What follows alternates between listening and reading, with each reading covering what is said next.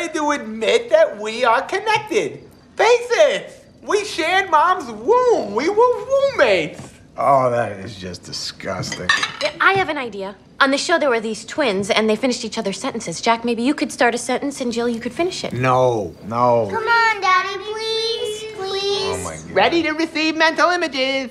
Beep, beep, beep, beep, beep, beep, beep, beep, beep, beep, beep, beep. All right, will you stop you scaring him? It's just noises she's making. Okay, ready? Yes.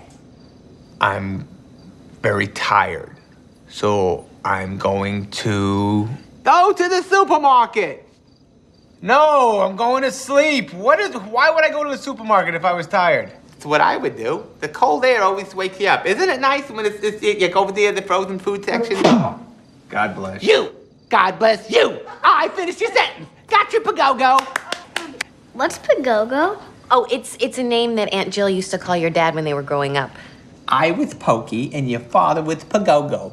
We had our own secret language. Ook magadodo, Pagogo. I have no idea what those words mean, nor have I ever known what those words meant. You do know what they mean, and you're lying right now. Ook magadodo means I love you.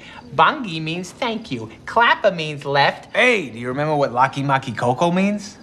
Mm, what does this mean again? Jack, don't. It means I can't stand you being here. This is really awkward. I'm gonna go. Oh, uh, dessert is coming. I'm full.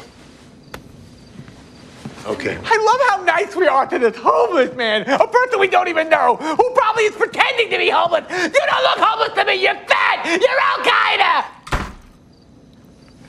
Sophia, why don't you go upstairs? Oh, Mom, this is my favorite part of Thanksgiving. You know what? I'm leaving. I'm leaving. That's it. That's it. I'm going.